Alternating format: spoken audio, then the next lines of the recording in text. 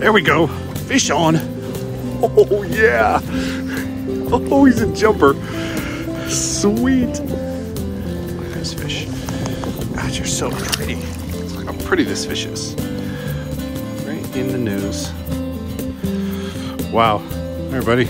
Winter fishing, you gotta love it. I'm up here at Coldwater Lake. You know what's really crazy about this lake? This lake was formed by the eruption of Mount St. Helens. The whole side of the mountain came down and blocked Coldwater Creek and created this natural reservoir.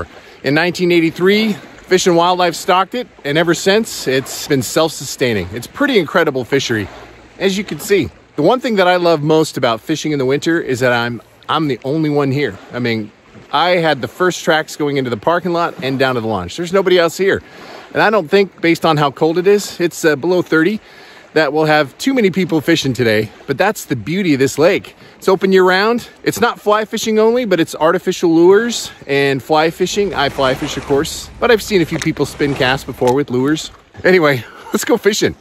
Pretty cool. Couple of lake otters. Curious to what I'm doing. You don't often see those guys around. It's pretty cool they're making a visit.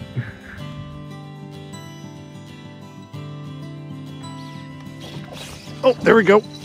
Fish on. yeah.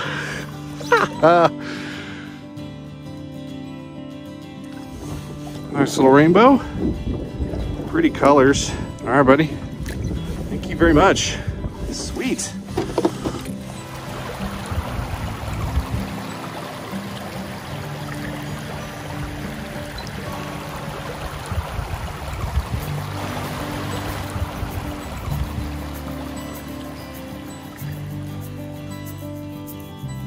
Oh, there we go. Fish on.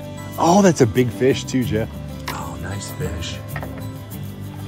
Oh, that's a beaut. On the hopper. Does it get any better than that?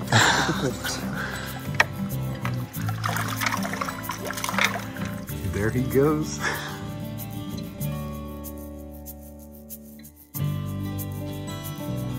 So something kind of cool.